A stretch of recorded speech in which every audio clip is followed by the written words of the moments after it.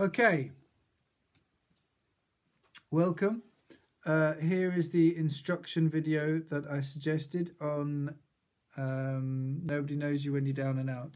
I'm going to play through the chords you're familiar with first and then I'm going to play alternate, an alternate version. So we start with a C into an E7, A7, slide in if you want, F, A7, D minor.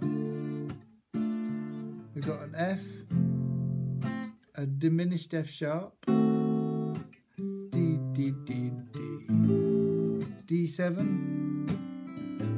and a G. Okay, that's the that's the version you are familiar with. Yeah, I, I believe. Um, now, first off, I'm going to play it up here. Right, I'm going to quickly play it first, and then I'm going to talk through how it's put together. So we've got this.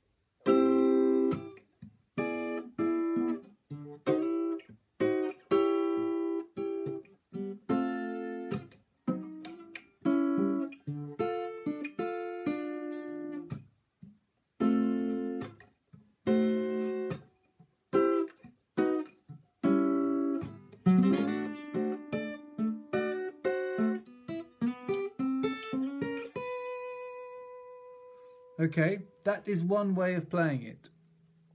Um, there are alternate ways of playing it, but I'll just talk you through how this one works. Okay, so there's going to be a couple of shapes that you don't really recognise, um, and hopefully I'll explain them well enough. Um, right, so we got, start off with the C. The C shape comes from the bar chord, okay, but we only play these notes of it. Well, I've been playing only these notes of it. From the D string, the G string and the B string yeah? So if I was to show you what my fingers are playing without a bar, it's these three. That's the C chord, yeah? The E7 that I play, yeah, is this one. And that is the A7 slid right up to the ninth fret, right? Okay, so that bit goes Next chord we need is an A7, right? And in order to do that, what I do is take the D7 shape here and slide it up to the uh, 8th fret. So we got a C, E7 and A. A7, yeah, have you got that? C, E7, a7.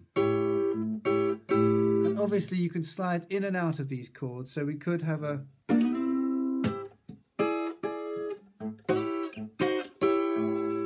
yeah, all of that kind of stuff, however you want to do it. The next one is probably a chord that you're not familiar with, and that's playing an F like this, right? Okay, so it's that shape, the best I can show you. Now, to explain how this shape exists, I'm going to digress a little bit and show you a full D. Now, the D chord that we know is this one. A full D chord is like this.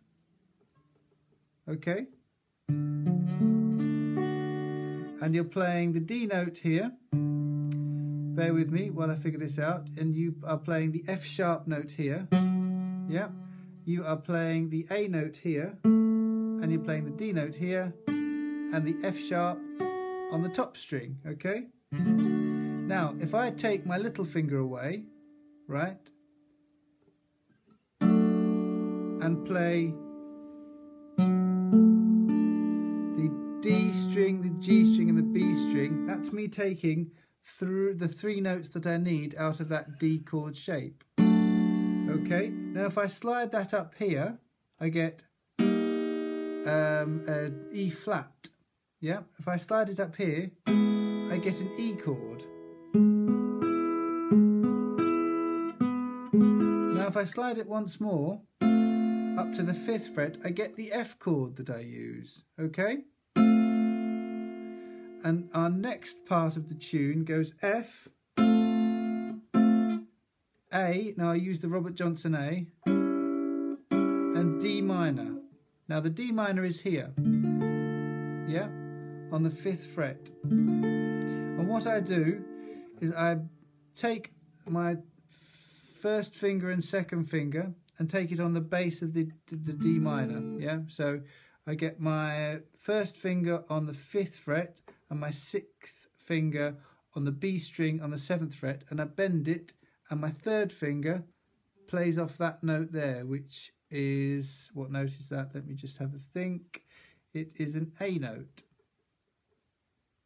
No, sorry, it's a D note. So it's like this.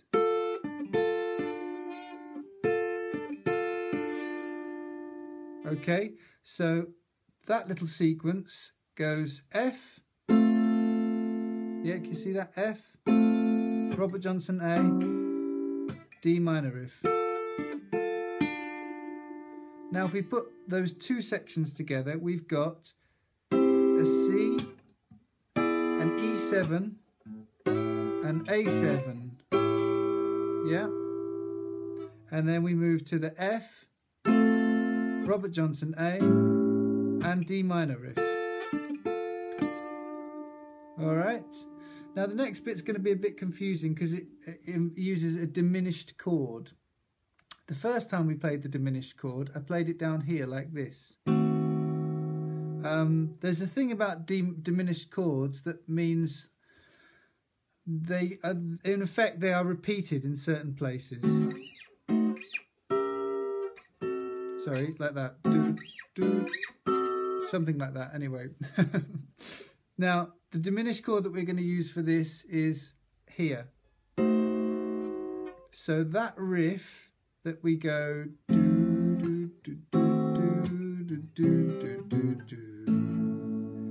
we can play that like this. We got the F, F diminished, well diminished, C, Set Robert Johnson A. Okay, I'm going to show you that again slowly.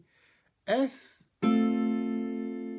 diminished shape, which, let me call out the, um, the frets I'm using. So I've got the D string on the seventh fret, that's this note. My, when I'm wobbling. I have got on my second finger the F sharp note on the B string, right? That's these two. And I have got here the D flat note on the G string and the top string here I am playing the um, I am playing the C note. And it should sound like this. Yeah, bit of a sinister one. Um, okay, so that sequence is going to go F, diminished chord, then we've got the C chord that we used earlier, walk it down one, and then into the Robert Johnson A. Okay. Now the D7 that we use next is the A shape again, but moved up this time to the 7th fret.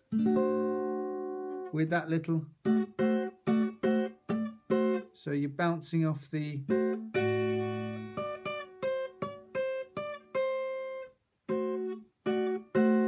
then into a G. Now what I was doing with a G was this little riff.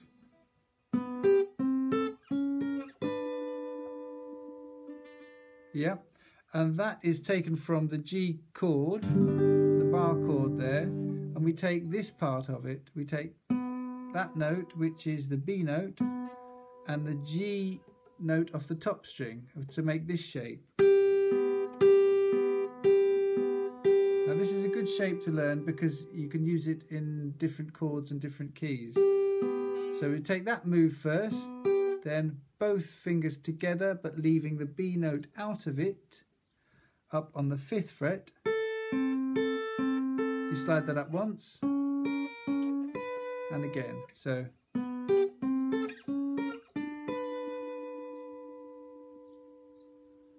Okay, so I'm going to play the whole sequence, but quite slowly. C, C to E7 to A7, F to Robert Johnson A to a riff on the D minor. F, diminished chord, walk down from C into the Robert Johnson A, D7, and then a little riff on the G.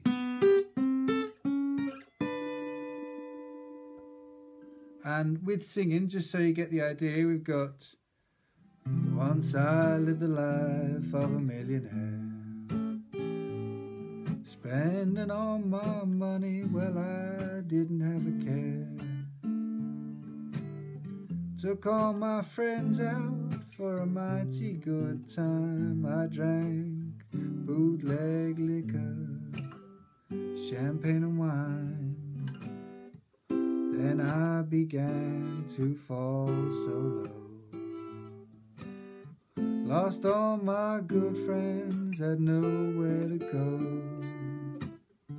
If I get my hands on a dollar again, I hold on to it till that eagle grins. Okay, so hopefully that's made it clear for you.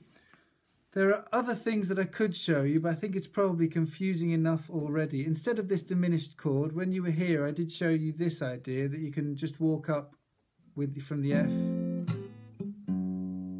And that's a simple enough thing to do. You really don't need any more than that bass note for that. The F sharp bass note, C down to A7, okay? Now, I don't know how clear that is going to be, but I, have given it my best shot, okay? Uh, if I can help any more, let me know.